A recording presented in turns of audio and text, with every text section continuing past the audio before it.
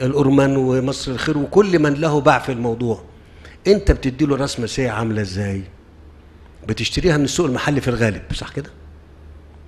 لكن اللي انت بتديها له دي مش هتغنيه. مش إيه؟ مش تغنيه مش هتغنيه.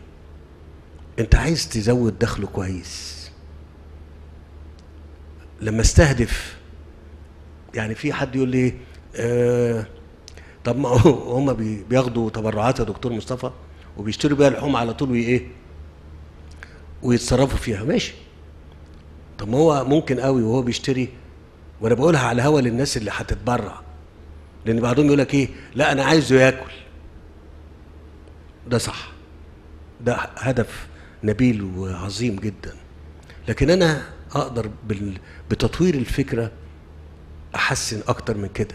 أكتر من ان أنا أوفر له وجبة ولا وجبتين أديهم له يتصرف بيهم. بأن أنا اديله راس أو اتنين من ده. أنا غيرت له حياته؟ غيرت. لا صحيح. صح. لو اديت لمواطن اتنين راس ماشيه من دول آه غاليين وآه كتير. طب الدولة ممكن تدخل في الموضوع يا دكتور مصطفى؟ تدخل. وزارة التضامن بنطلع تكافل وكرامة وبنطلع ده. ما بقولش إن إحنا نوقف لا لكن نطور البرنامج يبقى مع الجمعيات ديت أقول أخش على الأسرة ديت وأقول له أنا هديك أطمن إن هم عندهم قدرة على إن هم يديروا الم- الموضوع كويس وأدي له رأس أو اتنين.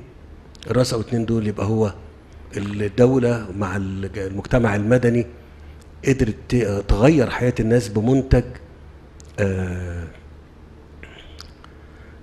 يزود انتاجه لمصر.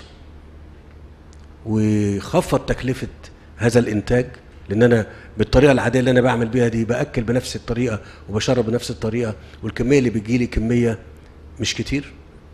ثم أغير حياة الناس.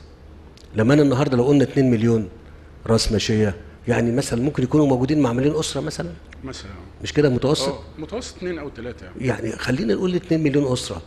يبقى أنا هقدر أحول حياتهم أضاعف لهم دخلهم بالطريقة دي. ولا أنا بقول كلام ده آه، مظبوط. أقدر؟ مظبوط. لا مش مظبوط أنا عارف إنه مظبوط. أنا هشرح بعد ما حضرتك تخلص الإجراءات اللي عملناها زي ما سيادتك وجهتنا يعني. أنت عملت يعني تقدر في خلال سنتين ثلاثة تقول لي أنا شلت كل الرؤوس دي وعملت لها إحلال بالرؤوس الجديدة دي؟ أنا هبقى لك من الشاكرين. إن شاء الله.